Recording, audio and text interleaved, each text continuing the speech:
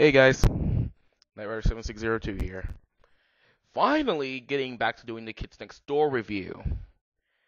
Yeah, it's been a while. So, where were we last time? Right, we had to discuss Father and the rest of the series. So, Father, what do I think of him? Uh, it's.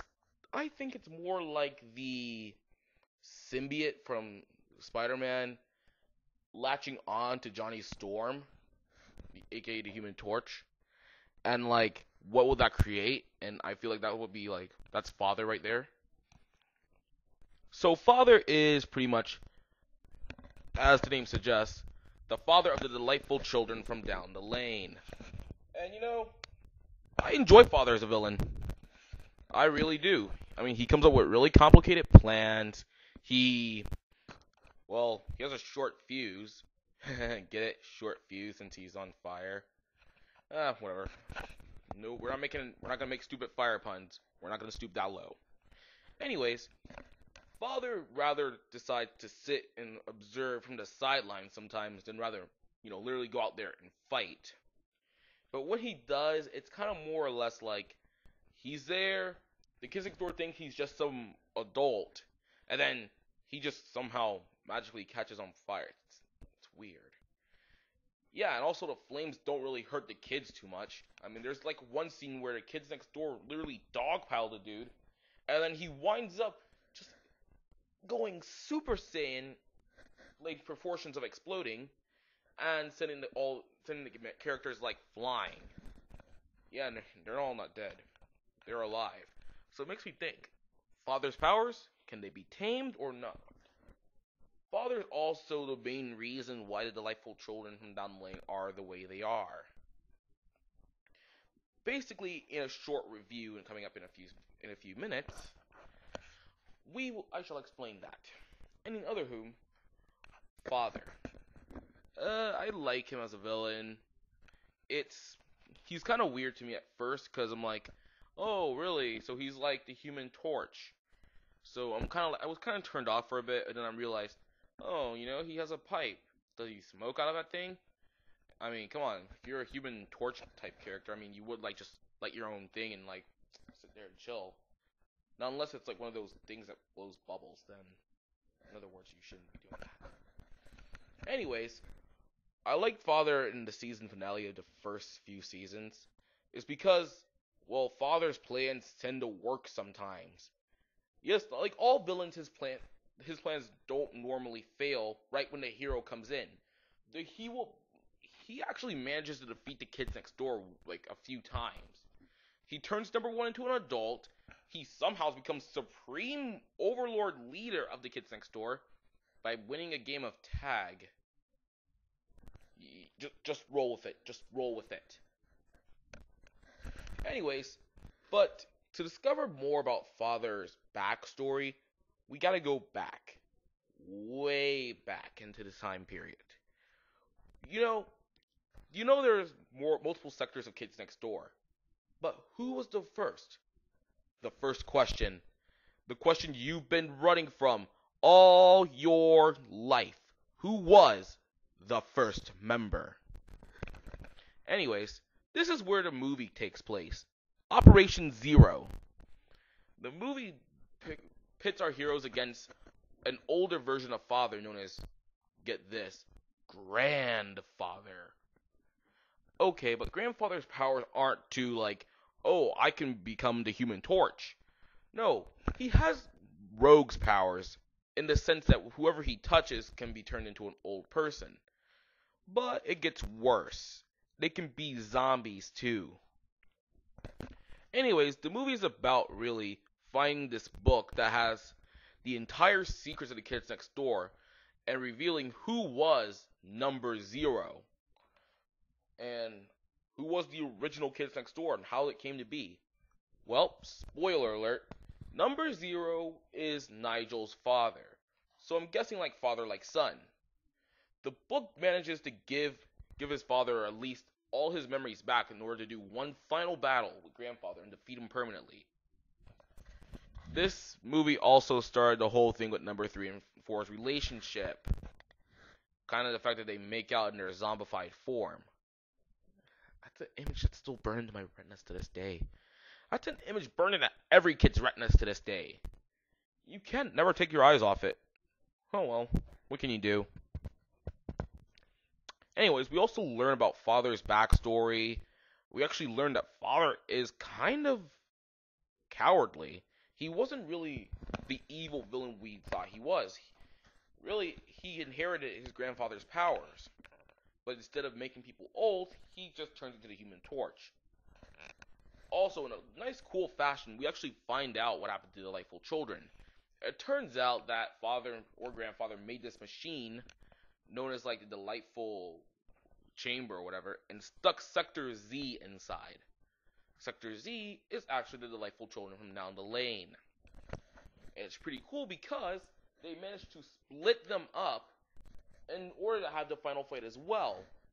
But towards the end of the movie, they start kind of getting back into their formation, which is kind of sad because it'd been cool seeing the all like seeing Sector Z probably in action and then having to deal with a lot of shit. Anyways, I love this movie. This movie was awesome. I wish they made more movies, kind of, because, you know, it'd be kind of cool. But I think the next one will kind of count as its own movie if you were. But it's a one hour special, and you know it as the last episode of Kids Next Door Operation Interviews. What can I say about this episode? This episode actually ends with the cake with a cake episode. This is literally what I thought. Kids Next Door first episode was about the pool. Not many people know about it. And later episode is the cake episode. So it's a throwback to episode two of the original se- series or season, and I really enjoy it. So what's the main focus of the episode? The episode's about the kids next door a few years later getting an interview. Now, wait, this isn't in a cartoon format. It's live action. I'm not sure if it was supposed to be part of that seeing real shit that was going on, but I, I didn't like it too much. It was too weird. Anyways, they both, all the members except for number one, tells kind of like their own story, tell the story of what happened in that final that final mission. What happened is the delightful children decide to have another birthday party. Okay. Well, they decide to open the cake to everybody who wants a piece. So they decide to have a water rafting race. This is like the equivalency of your good man Charlie Brown, except it's no canoeing. And you know, it's not it's not Charlie Brown and Charlie Brown got a new voice actor and you know, everything just goes downhill from okay, okay, I'm getting ahead of myself. Anyways, basically, this is like the whole the final battle thing. Every hero, every villain, every anti-hero comes out of the woodwork in order to get that piece of cake. And it just makes you wonder, cake. What is it that's so alluring?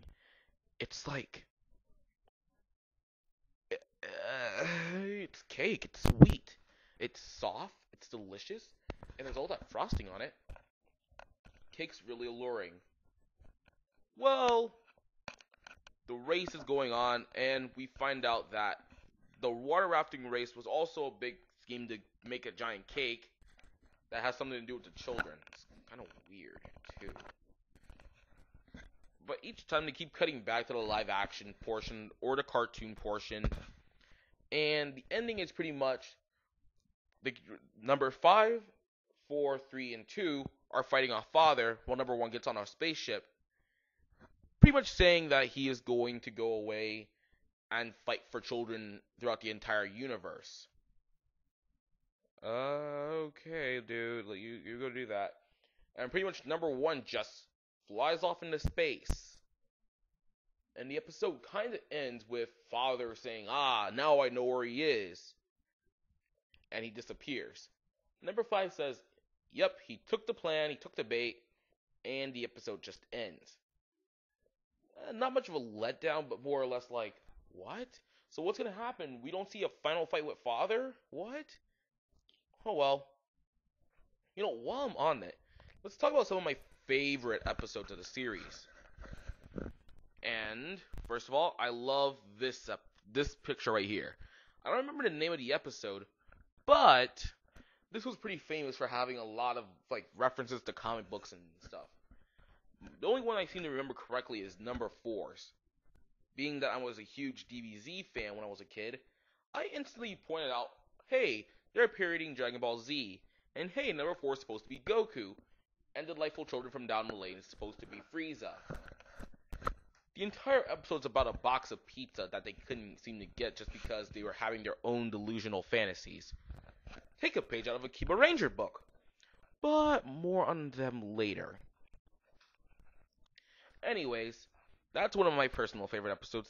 Another one in which I never I never mentioned this too, but apparently there is a rule in the kids next door where a certain member can't be decommissioned and can still continue their mission as a teenager. That's like one episode about the chicken pox. I kind of liked it, but it was kind of weird. Because I'm thinking that number five kind of had some kind of romantic interest within that guy, Maurice. One of my favorite episodes is number 19th Century. It's another cake episode. And um, it's kind of an obvious reference to Captain America. Come, can anybody just tell me? Just tell me. You got a guy from the 19th century. You got a guy who was frozen for years, unfrozen, having to cope with society afterwards, and then having to go on a mission to save the Earth. That's tough, man. He had no Avengers. He had no Hulk. However, he did have a sweet makeout moment with number 86. It was pretty hilarious. But, however, other than last, number 19th century was decommissioned. I, I mean, there were some pretty good plot points we could have had with him, like maybe he knew something in the past that could probably help beat the villains, whatever. Well, nope. Decommissioned, get a plunger to his face, suck it all out. Damn. Well, I should mention this before I go, but I really don't want to. I never liked the episode, anyways. It was too weird. It felt like two things contrasting. Kids Next Door meets Billy and Mandy. This was a this team up shouldn't have happened. I didn't like it. It was too dumb, and that's all I really gotta say about it. So there you go. Kids Next Door. Do I like it? Does the series still hold up to this day? Yes. Watch the series again hey, I think it's on Netflix now, so you can probably watch every cartoon series that you love. So, being cool, awesome, and also I'm a Google partner. yeah, didn't mention that in the beginning. So, Knight Rider 7602 signing out. Hope you have a fantastic day. Thank you. Good night.